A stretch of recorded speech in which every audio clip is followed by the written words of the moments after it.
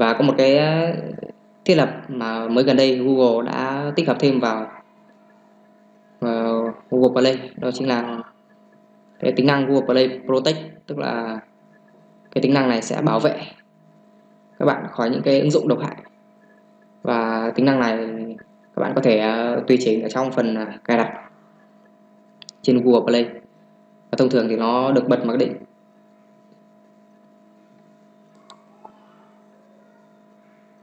Và một vấn đề nữa mà mình muốn ờ, các bạn lưu ý.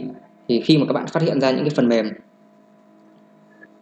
phần mềm giả mạo các bạn nên uh, báo cáo vi phạm cho nhà uh, cho, cho Google để Google kịp thời xử lý.